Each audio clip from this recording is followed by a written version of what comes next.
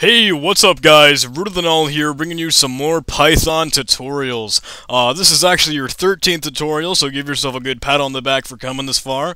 And uh, let's get started. I'm going to fire up idle. You can do the same. I'll drag it over here so you guys can see it, and let's get to programming. Uh, today we're going to be finishing up this little uh, function mini-series for the moment. We've actually still got a lot to cover, but hey, uh, we're going to knock it down one by one as always. And uh, yeah, today we're going to check out the return keyword. The return keyword is what's going to allow you to bring your variables and your data back and forth between scopes. Like when you pass in a variable to a function, that's bringing it into that scope, and then we have to manipulate it from the function and bring it back out to the regular scope, like the global scope. So I'm going to get started with my shebang line, environment python. I'm going to save this as... Uh, file.python as always. Let's uh, let's overwrite that and let's get ready to roll. So here we go. Let's define it. Actually, let's. Okay, this is the global scope. Give ourselves a little bit of a notification of what is going on, and here we go. Now I want to print. That's not so what I want to do, I want to define a new function. Let's call this uh, add. Let's make something really simple first off. Let's get some variables here. Let's going to set a is equal to 0 by default and b is equal to 0 by default. So in case the user, in case the programmer decides not to add anything, it'll just return 0.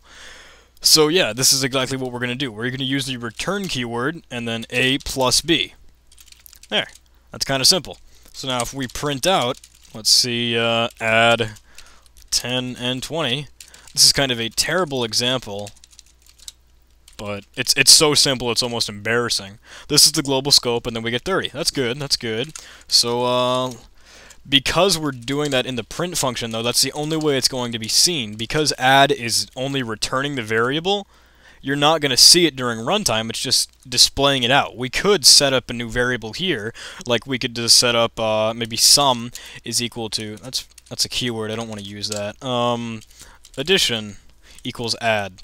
So now we can print out addition.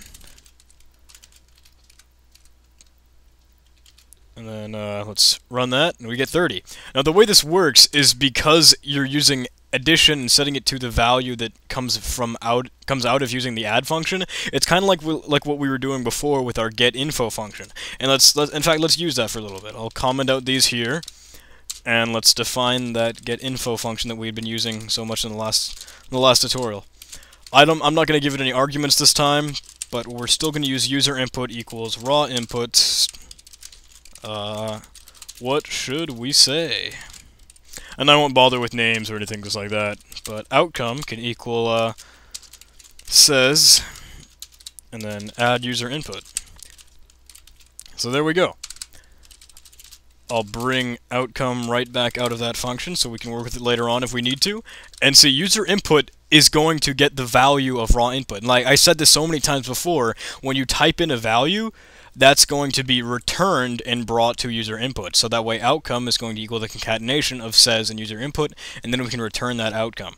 So if we just do, uh, let's see, fine, no, we don't need a new function. We just need print get info.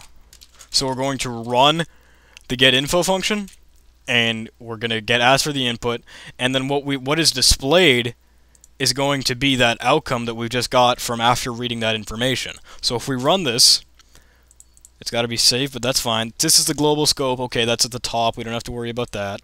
We got add, but we don't have to worry about that. And then we're just go straight into uh, we're going to go straight into get info. What should we say? Um, let's say how about that stove? And then it's going to say, says, how about that stove? But the thing is, we're not saying, we're not telling it to output that inside the function. It's going out of the function and into the print function right here. It's reversing the scope almost.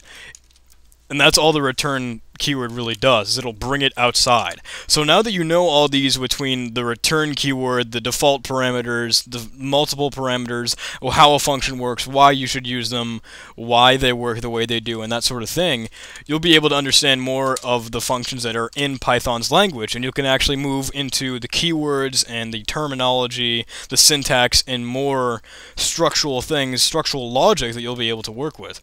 And uh, that was kind of the goal with this sort of mini-series So for now, you guys are set, and we're going to be able to move into some more interesting stuff. So thank you for sticking with me, guys, and I'll see you in the next video.